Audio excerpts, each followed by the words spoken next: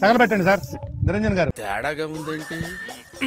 విజయవాడ నుంచి మన రాష్ట్ర రాజధాని నుంచి దేశ రాజధానికి వెళ్ళడానికి రెండు వేల పంతొమ్మిది వరకు ఎనిమిది సర్వీసెస్ ఉండేది ఇప్పుడు మీరు చెప్తే తెలిసిందండి. విశాఖపట్నం నుంచి వైజాగ్ ఒకటే ఫ్లైట్.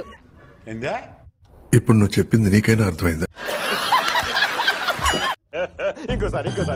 విశాఖపట్నం నుంచి వైజాగ్ ఒకటే ఫ్లైట్.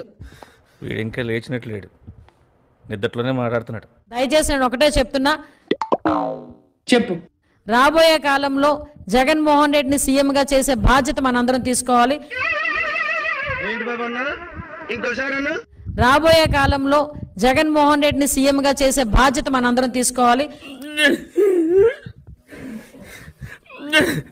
పొరపాటున ఇటువంటి రాజకీయ వ్యవస్థలోకి మార్పు రాకపోతే రేపొద్దున మన పిల్లలు రాజకీయ నాయకులను చూస్తే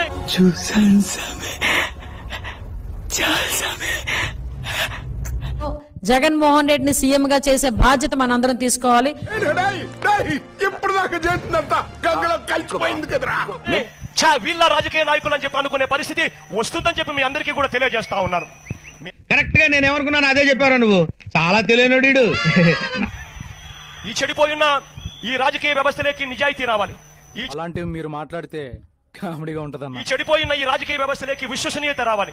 నిజ ఏదైనా నిజం ఫ్రాంక్గా మాట్లాడుతున్నాడు నిజం చెప్పేవాడు న్యాయంగా ఉండేవాడే ఎప్పుడైనా కూడా రాజకీయాల్లో పైకొస్తాడు. కరెక్ట్గా పట్టేసేవా పట్టేస్తానండి నేను పట్టేస్తానండి బాబు. నేను పట్టేస్తానండి. నా తెలివితేటలు గొప్ప తెలివితేటలండి బాబు.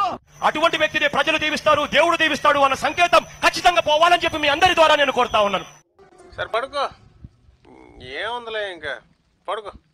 విశాఖపట్నం నుంచి వైజాగ్ ఒకటే ఫ్లైట్. చెప్పు చెప్పవే. నేను వింటాను కదా